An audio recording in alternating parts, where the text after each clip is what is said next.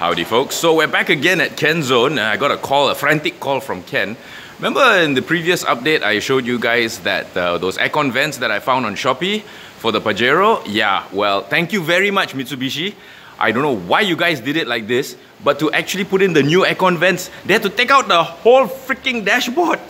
The whole dashboard because it's connected from the inside. So my dashboard for the Pajero is now out of the car which means now I'm going to DIY clean this whole place. But look at that. Thank you very much, Mitsubishi. Just to change the aircon vents up there, they had to take out the whole dashboard.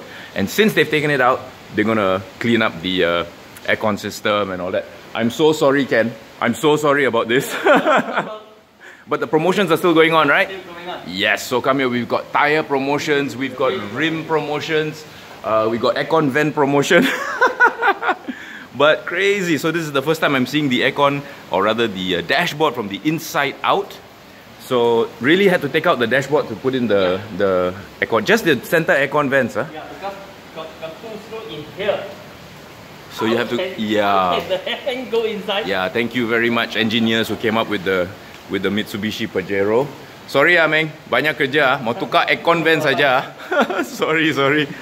Oh, just to clear, just to change the aircon vents. How crazy is that? So, okay, so just a very quick two-minute update. Since they've opened it out, they're gonna refurbish also the uh, aircon system and uh, check the power steering as well because there's a little bit too much free play for my liking. Somebody was asking where I got these done. I got these uh, seat covers done at the same place I did the Sentra and the uh, Punto recent, uh, recently, which I haven't released the video yet, or have I? Yes, I've released the video, and uh, also did earlier this at the WY Leather Trading in uh, Ampang. So yeah, so the Pajero is going to take a little bit longer, but uh, I'm sure it's going to be worth the wait. But uh, I can't believe it. Just to change the vents, I got to take out the. They had to take out, not me. They had to take out the whole dashboard. Wow. So that's why I, in uh, overseas, I guess, uh, labor would have cost 10 times more than how much those aircon vents, which cost me 58 ringgit, would be. Ah, crazy. Anyway, two minute update. Talk to you all soon. Bye.